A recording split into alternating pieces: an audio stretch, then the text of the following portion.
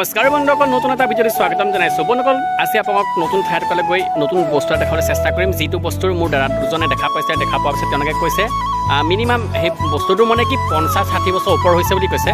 আৰু কি বস্তু আজি আপোনাক দেখাবলৈ চেষ্টা কৰিম? দেৰিকৈ ভিডিঅ'টি আৰম্ভণি কৰোঁ তাত গৈ লগ পাই আছোঁ।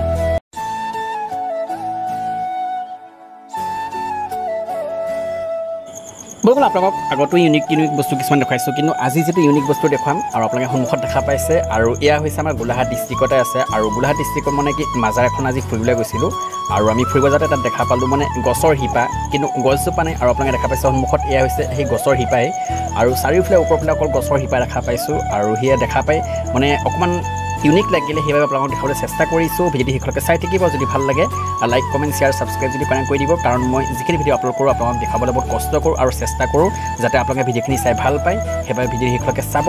আৰু এয়া হৈছে গোলাঘাট মাজাৰ বুলি আপোনালোকক আগতে কৈছোঁ। আৰু মানে কি গছজোপা দেখা নাই কিন্তু চাৰিওফালে অকল শিপা দেখা পাইছোঁ আৰু মেইন শিপাটো ইয়াতে আছে।